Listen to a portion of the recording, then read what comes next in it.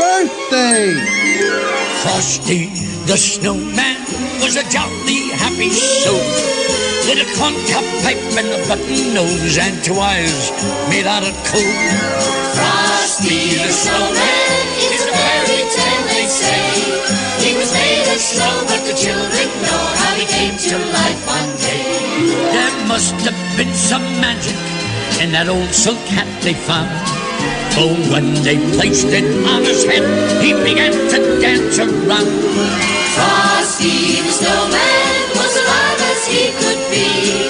And the children say he could laugh and play just the same as you and me.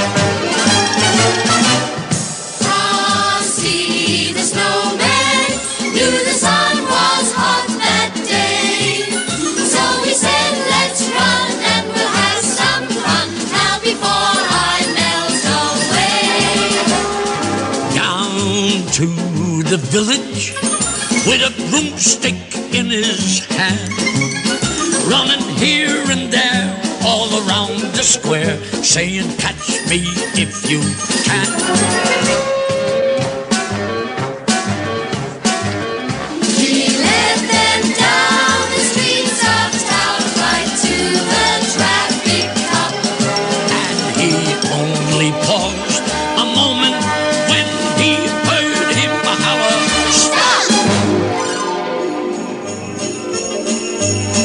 Thumpity thump thump thumpity thump thump Look at that frosty goat thumpity thump thump thumpity thump thump. over the hills of snow.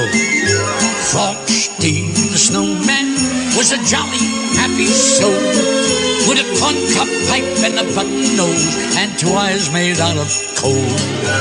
Frosty the snowman had to hurry on his way. But he waved goodbye, saying, Don't you cry. I'll be back on Christmas Day!